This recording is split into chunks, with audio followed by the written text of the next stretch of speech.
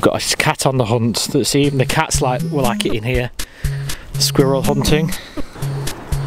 See, there's there's like six in that tree right now. There's one running across that way.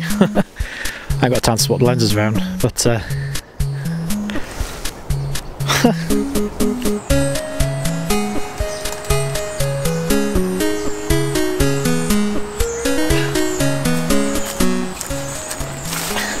this is why I love this place.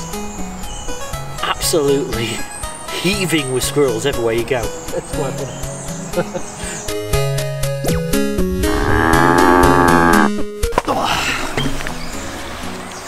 Bit of a down day at uh, Moobit Media today, so uh, well that and I'm not very well to be honest in here the last couple of days, so uh, rare kind of day of not doing much, but we have had a lot of uh, gearing and stuff to test, so I'm going to do that today, um, including these, the uh, Rode uh, Video Wireless Go, I think they are. Um, well, these things, uh, these things here, pretty cool. Um, I'm going to test that in a minute. At the moment we've got the uh, Video Micro on top of the uh, camera, but we're also testing out the uh, SwitchPod, uh, which a bit of teething issues at first, uh, which the guys down at SwitchPod are absolutely amazing. They are Caleb, if you're watching this,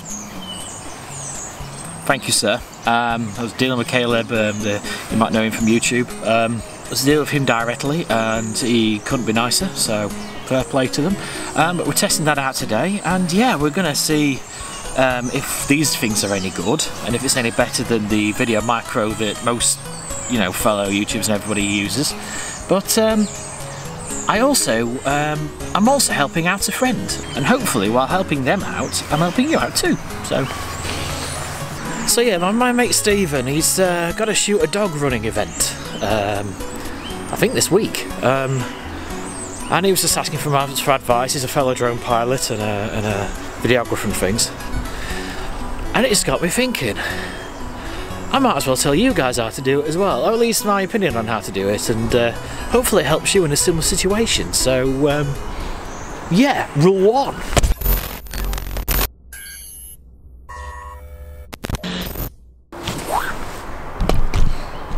Be prepared plan ahead, do your damn research. Um, cannot emphasize this enough, to be honest.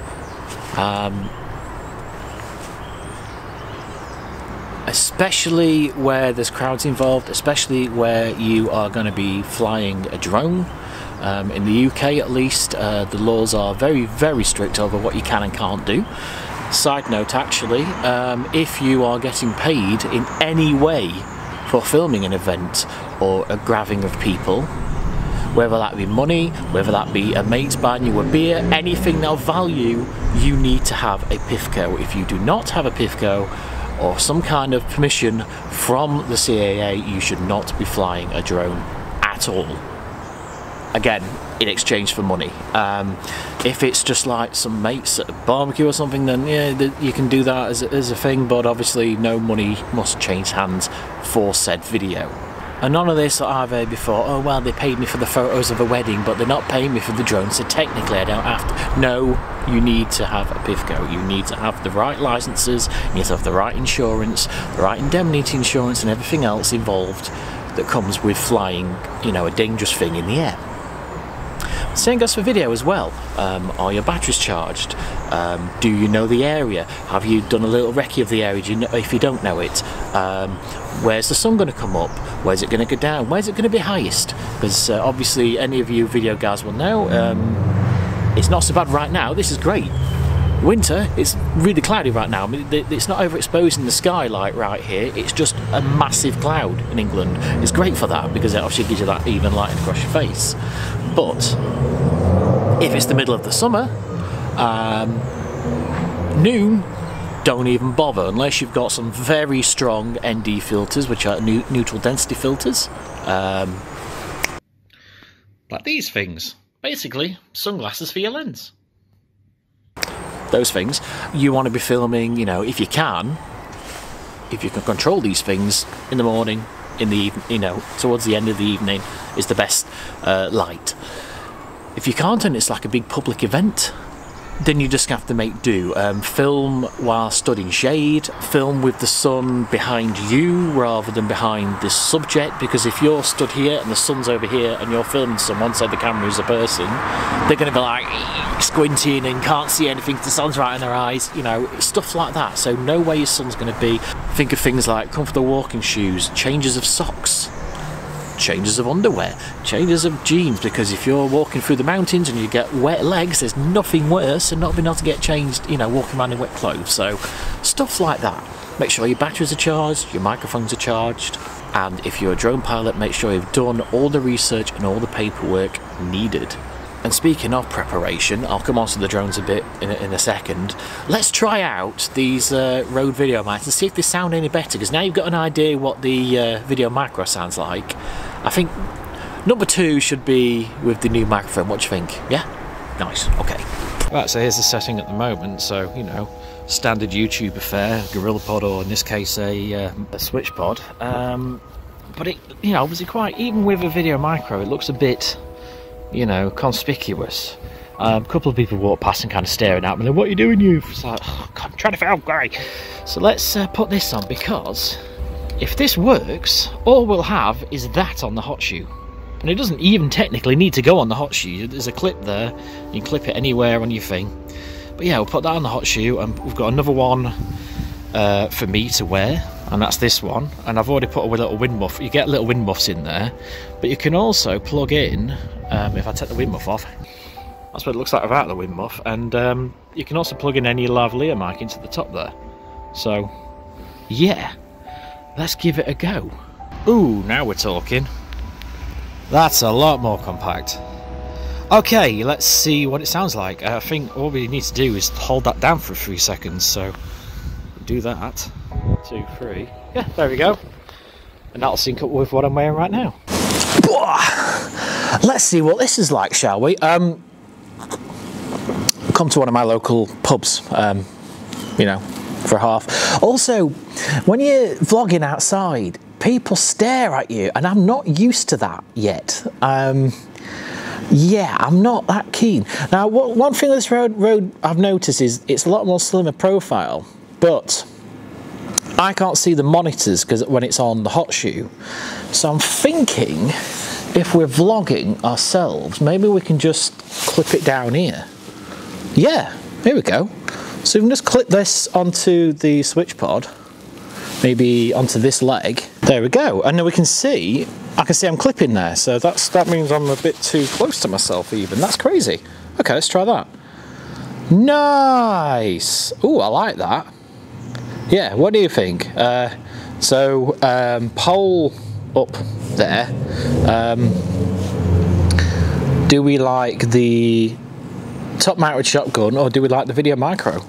It's good. The one thing I've noticed is it's got these little wind muffs on them, but uh, they're a bit crap. They fall off like in three seconds. They don't clip on or anything. They just kind of friction go on and they're a bit. Anyway, what was I saying?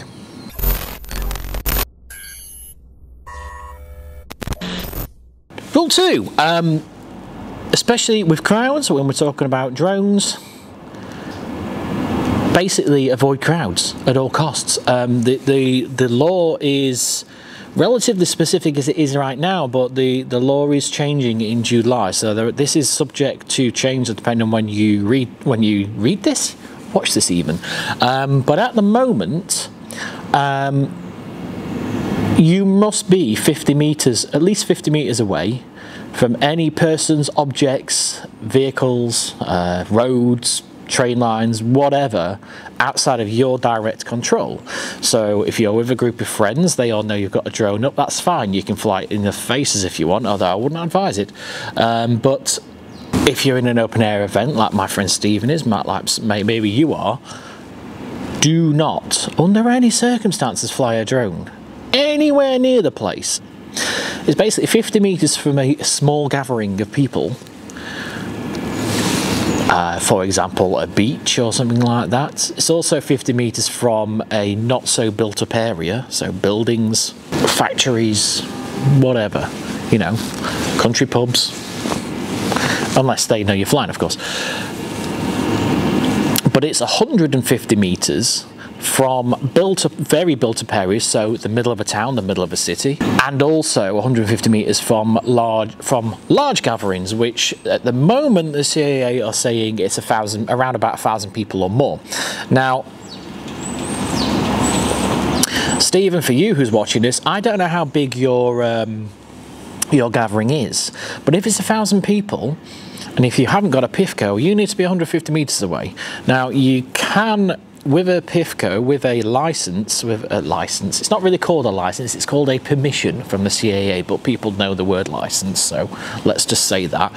Um, at the moment on my um, permissions, I can go, I can take off and land only 30 meters away and that's when I'm taking off and when I'm landing, which gives me a bit closer. You know, if, if I'm in a restricted area that say you know you can only fly a drone from there, and it's and it's 32 meters away from where the crowd are, that's fine as long as I immediately pull back to 150. Now there are exemptions on the submissions and additional sort of notes on there. Like I have a friend who I, I um, help out on his jobs, and, and he can go within five meters, but that is like a lot more training and things like that. And I've not done any of the additional stuff because I'm a film cinematographer, so we are always on close sets, surrounded by people who know there's going to be a drone in the air, and therefore they are all under my direct control. We're all on radios and we can communicate with everyone and all the crew and the cast and everything. So I don't need those permissions, those extra permissions because of what I do. But for say you're a wedding videographer or something like that, yeah, okay, you can fly over the crowd if they if you make sure you brief them and give them health and safety and all that kind of stuff. Say you're at a wedding um, and there's I don't know a business conference going on in the same hotel. It's 50 meters away, depending on how many people are there. If it's a thousand people, which let's face it, a wedding and a business conference probably will be 150 meters away.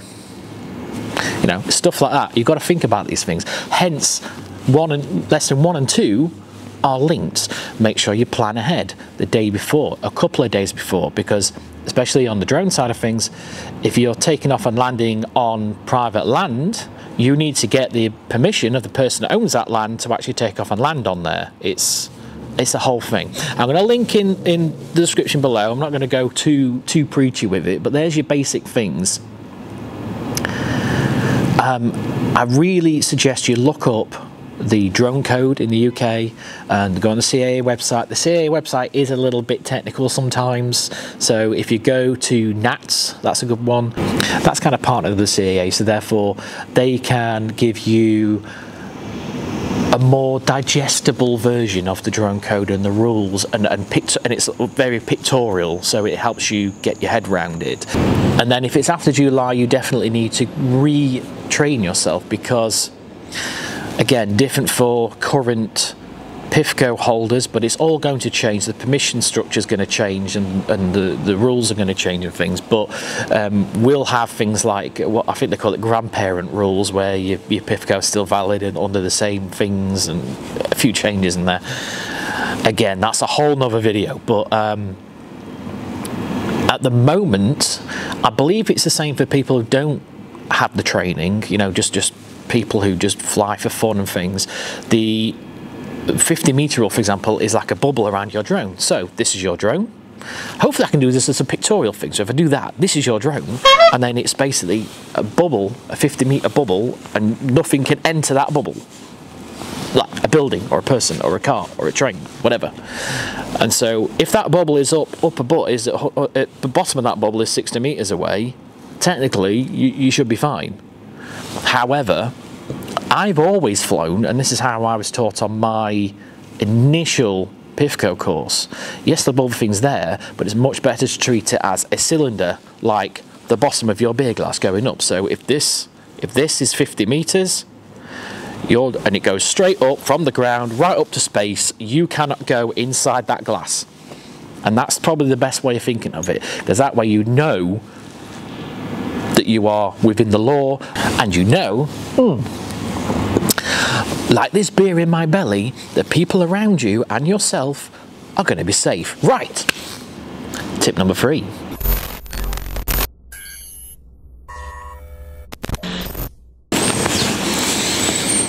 Film your establishing shots, if you can, on a different day. What do I mean by that? So your establishing shots in a movie are like the big wide landscapey type shots that, that you see that kind of tell the audience where they are um, and what's around the, the, your subject, which in Mark's case is going to be the runners. In other cases it might be, if you're on a film, your, your main talents and, and where they are. Especially on a big event, uh, when you're filming these things, it can be very, very quick paced and stressful. So if you can go on there and all you're doing is, concentrating on getting pictures of runners or dog walkers or whatever it is you're filming, and then you can come back the next day or go a couple of days beforehand maybe. Um, usually on like a big running event, for example, I did one once where um, we knew that all the tents and the event stuff and the stage and stuff was all going to be set up the day before. So we'd go the day before, have a word with the event organisers and say, okay, right, do you mind if we take some establishing shots of the site while there's no one there? using the drone because it's a lot safer because there's not as many people around there. Yeah, that's brilliant. Just, just make sure you're taking off in line between these two times and we'll say on the radio, brilliant, you know, away you go. So yeah, again, it all comes back to that tip number one, you're planning. If you've been asked last second to do it, fine, you know, film your people, make sure you've got all, uh, you know, film more than you need, make sure you've got what shots you think you, you, you might need for the little video you've got in your head. And then once uh, all that's done, then walk around the site or around the field or around the course of the person where the people are running, whatever, and do your big wide establishing shots. Um, like on the one that Jane did, um, this that wasn't um, a paid thing by us. I was just there supporting my wife and and uh, the group she was with. Like, oh, let's film, let's do a film little thing. Okay, let's do that. So, what do we do? Didn't get the drone out because obviously I was literally asked on the on the day while I was there. I filmed this. I filmed basically the start and people walking past, hey, let's go, hey, you know, start, start, start. I then hightailed it in the car to halfway around the course. It was a 25k course, so obviously I had time to do this. 25k course. I went round to where I knew would be a cool establishing shot, which in this case was Ladybower Dam. Um, I looked upon the various various apps that us uh, professional pilots use and, and saw that you know there was an area that was safe to take off from and and you'd have permissions and all, all that in place and phone, phone a phone number. Oh, do you mind if I send uh, just a small little? I just sent the the Mavic Air up, you know. Oh yeah, that's fine. Yeah, no one there. Sent it up. Got those establishing shots of of the dam while I was waiting for the people to come round landed, packed away, made safe, got my camera back out. The, the people started arriving at the dam, taking some establishing shots of that, interviewed my wife, you know, walking along, backwards along the dam. You might have saw that on my, on my video. Once that was done, got back in the car, hightailed it back to the, um, the start finish line, got some establishing shots, the ones you saw at the beginning of the video, those ones of the flags and everything else like that, that was done while there was no one there you know, um, establishing shots of the tent, uh, establishing shots of, of, of people, you know, workers walking around and things like that. Um, did that, I packed away, had a jolly good time, had a brew, everyone started coming back, got the camera out, filmed, filmed the finish, away you go. You don't have to film things in the order that you're going to edit them in. I mean, it helps, it cuts down on editing time, agreed, but TV and film, you never shoot in the order that the script is unless it's like a shot as live project but you, you, can shoot in different orders you can shoot in different days. It doesn't matter as long as you get the shots that you think you might want. So again with a little bit of forethought and a little bit of planning or a little bit of creativity on your on your part of, of filling in the gaps in between the main shooting sections you can get some nice establishing shots without having to sacrifice um, you know meeting the main talents, which in this case would be dog walkers or runners or something like that. So yeah, there you go. Film establishing shots a different day or, you know, in between the, the, the main events happening.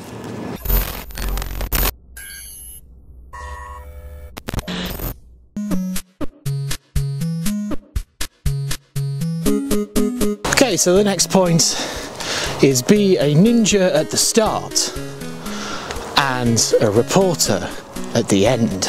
What do we mean by that? Well, well in the case of our running example, the people who are at these um, events are not there for your benefit to you know, make a video. They are there to run or walk a dog or ride a horse, whatever it is. They're not thinking about looking good for the camera. And the last thing they want when they're trying to set themselves up for a very big event like a walking marathon or whatever it is, is someone just sticking a camera in their face. What do we do? Well, we go back to the example I gave you back in the pub there, that um, you turn up, you be as inconspicuous as possible without looking creepy, you know, don't like hiding a bush or anything, that's just weird, and get your nice sexy b-roll shots and things of people, you know, putting their shoes on, you know, putting their backpacks on, uh, standing at the line and letting three, two, one, beep, and they're all crossing the line, that kind of a thing. And you don't bother anyone and just accept that they're there for a different reason that, you, that you're there for. Then, once the event's over, you can then go and uh, you know go and interview people. How was it for you? Did you enjoy it? What was the hardest part? You know that kind of stuff. And you'll find people because they've got all the adrenaline in them and they've enjoyed themselves are usually a lot give a lot much better interview to when it's at the beginning and they're nervous and they're trying to set themselves up and all that so and I found that time and time again when I've been helping friends out or you know doing a doing some voluntary work for a charity and they happen to have some people doing a marathon or something you know you interview them afterwards and they're a lot happier. They're happier to see you. And I don't mean like as they cross the line, unless you're like uh, broadcast media, of course. Then you know, grab them in the coffee tent or whatever it is, you know, and make a fuss of them, show, tell them how much you respect them, and then they're, they're more likely to want to talk to you. And if they don't want to talk to you, obviously respect that. So yeah, be a ninja at the start and a reporter at the end.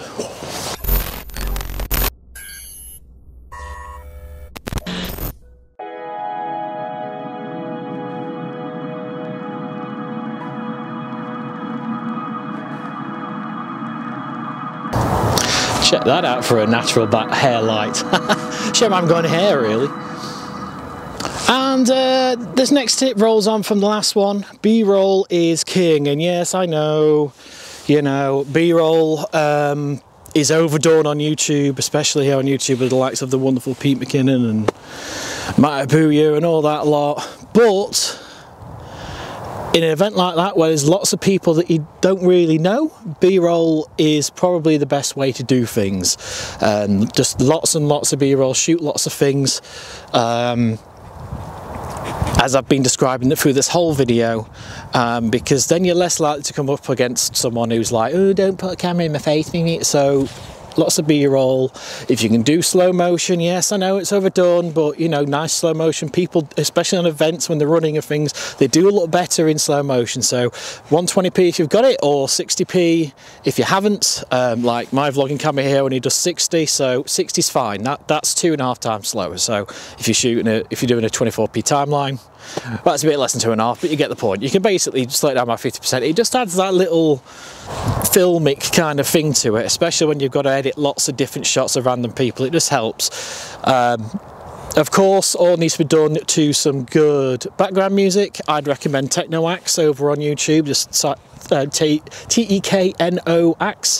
He has lots of different genres um, and he lets you download licenses to use for commercial purposes and things like that. But there are paid services out there. A lot of the YouTubers out there, um, you know, do use them and work with those people. Um, I personally don't. Um, I have been approached back in the day when I had a few million on my channel, but uh, you know, the, the problem with it is that you have to keep your subscription up. Um, I think they might have changed, but back, back when I was being offered, you have to, um, you know, keep your subscription up because then if, say, you cancel it 10 years later and your video's on YouTube and it's still doing well, you, you, you haven't got a license for the music anymore. So I'd sooner have someone who is an individual artist. Um, that's how I roll. Um, and of course I support those artists like TeknoAXE and there's a couple of others out there um, you can support them by giving them a Patreon, you know, like a monthly payment, which is basically what I do. And then that way you've got a personal relationship with that person and, you know, they're never going to, you know, suddenly turn around and say, oh no, you need royalties for this now. You know what I mean? So, yeah, keep to the B-roll because if you can't get any interviews with people, then at least if you got some footage, you know, with a long lens from across the room of, you know, people all sat around the table at the end having a, having a brew, going, hey, patting each other on the back, you know, smiling, you know, think about facial expressions, think about the human connection, just like we do in films and TV. So, you know, show people happy that they've finished, show people with medals round there, round them if they're giving out medals, you know, um, congratulating the horses, what, you know, whatever that is, you know, use your imagination um, and you can use it, make a very nice looking video that has that emotional connection and your client who's asked for it is going to connect with that more because um, they're going to have that, that personal connection and therefore you look better. Right, I'm going to watch the last of this sunset I think and then we'll go back to the studio and uh, I'll give you the, the last bonus tip if you will just tip number six, you know. Have you have you noticed the uh, thing yet? Six letters in my name, Moobit. Six tips, you know, because I'm I'm special like that. Anyway, Sunsetarama. What do you think, Rory? What do you think, Rory? Should we go back to the office now? No? No? Are you cold? Oh yeah. Do you want to go now then? Okay then, mate.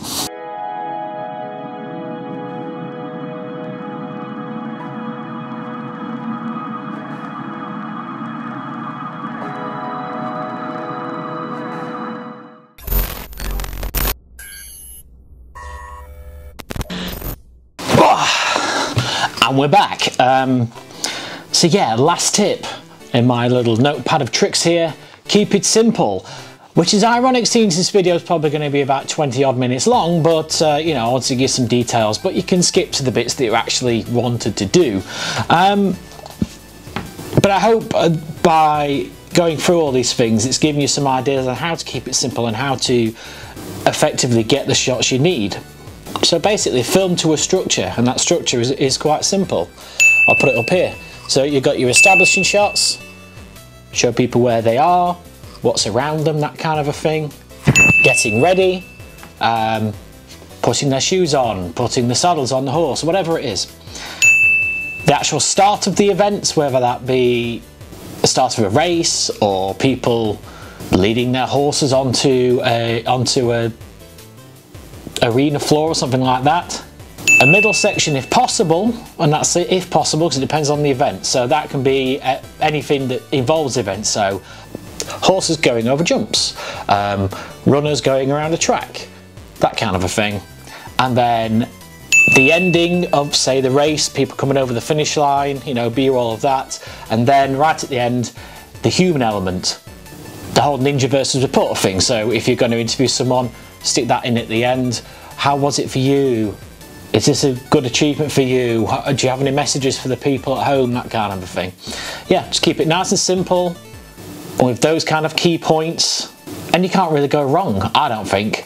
But anyway, hopefully that was really helpful for you. Um, let me know what you think uh, or if, of the new sort of format of me going delving more deeply into cinematography and videography, giving you tips and advice and share my experiences and the experiences of the Team Reflector right here. Also let me know what you think of these mics. So um, normally I've got a shotgun mic just above my head, but now uh, I'm using this. Let me know if this sounds any better. Um, I do know there's an echo in the studio at the moment. Um, I'm going to work on that. I need to put some sound dampening panels and the ceiling and the wall behind where the camera is and things, so that should be a bit better for you. But that'll have to come on another video. In the meantime, thanks for watching, and until next time, do no harm, don't be a dick, and I'll see you in the next video.